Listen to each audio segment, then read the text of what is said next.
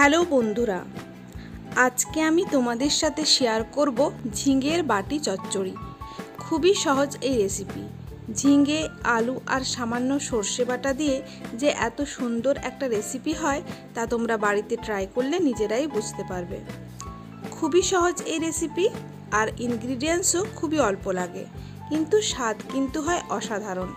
যারা নতুন নতুন রান্নাঘরে ঢুকেছো বা এই রান্না করতে শুরু করেছ, তারাও কিন্তু এই রেসিপিটা করতে পারবে। তাহলে এখন আপাতত দেখে নাও এই রেসিপিটি তৈরি করতে আমাদের ঠিক কী কী উপকরণ লাগছে। এখানে আমি দুটো ঝিঙা নিয়ে একদম মিহি করে কেটে নিয়েছি। তোমরা দেখো কেমনভাবে কেটেছি, একদম সরু সরু করে কেটে নিয়েছি। একটা মিডিয়াম সাইজের আলু নিয়ে সরু সরু করে কেটে নিয়েছি।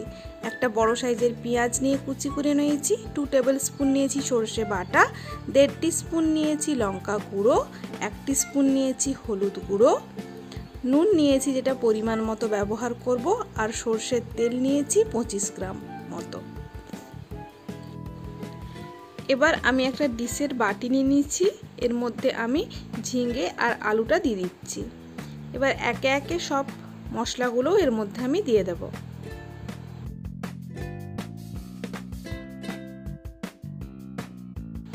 এবার দিচ্ছি পেঁয়াজ, লঙ্কা গুঁড়ো, হলুদ গুঁড়ো, নুন, সর্ষে বাটা আর সর্ষের তেল। সব মশলাগুলো আমি এই বাটির মধ্যে একেবারে দিয়ে দেবো।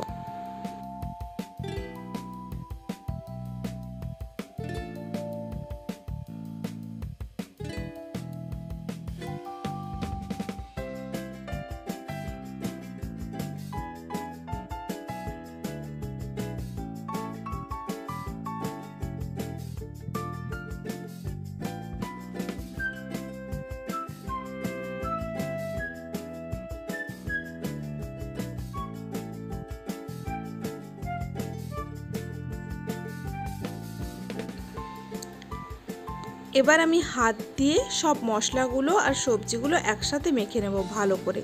একটু চটকে চটকে ভালো করে মেখে নেব।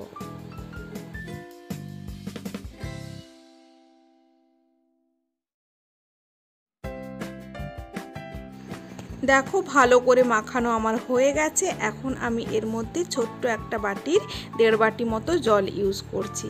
ঝিঙ্গা থেকে জল বেরোবে, তাই খুব বেশি জল দেওয়ার প্রয়োজন নেই, অল্প জল দিলেই হবে। আবারও ভালো করে সবগুলোকে মেখে নেব, দিয়ে এটা আমি গ্যাসে বসিয়ে দেব।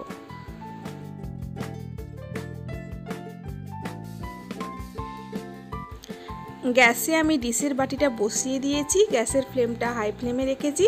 যতক্ষণ না ভালো করে এটা ফুটে উঠছে, ততক্ষণ পর্যন্ত গ্যাসের ফ্লেমটা হাই ফ্লেমেই রাখব।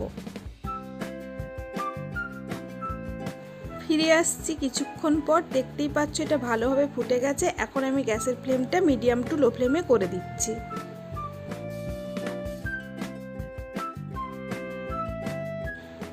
এইভাবে আমি হতে দেবো এটা বেশ কিছুক্ষণ। যতক্ষণ না জলটা শুকনো শুকনো হয়ে আসছে। মাঝে মাঝে শুধু চামচ দিয়ে একটু নেড়ে নেব।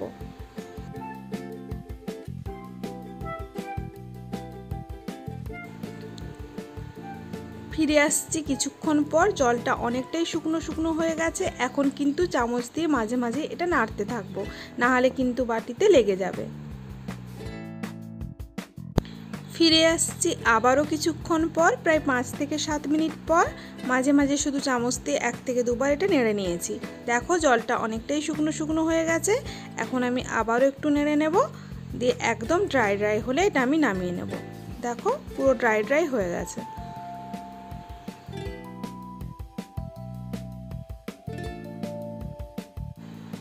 দেখো, এটা কিন্তু পুরো শুকনো শুকনো হয়ে গেছে, এখন এটা আমি নামিয়ে নেব। এই রান্নাটিকে একটু ধৈর্য নিয়ে করতে হবে, মিডিয়াম টু লো ফ্লেমে গ্যাসের ফ্লেমটা রেখে এটাকে হতে দিতে হবে বেশ কিছুক্ষণ, যতক্ষণ না পুরো ব্যাপারটা ড্রাই হচ্ছে, ততক্ষণ পর্যন্ত কিন্তু রান্নাটা করতে হবে।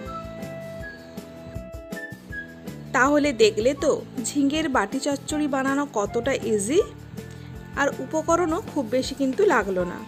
আর রান্নাটি যে বেশ সহজ, তা তোমরা বুঝতেই পারছ। তাহলে ঝটপট বাড়িতে এক্ষুনি একবার ট্রাই করে ফেলো তো এই রেসিপিটি আর ট্রাই করে আমাকে জানিও যে রেসিপিটা তোমাদের কেমন লাগল। যদি ভালো লেগে থাকে তাহলে অবশ্যই একটি লাইক করো, আর আমার চ্যানেলটিকে সাবস্ক্রাইব করতে ভুলো না। সকলে ভালো থেকো, সুস্থ থেকো।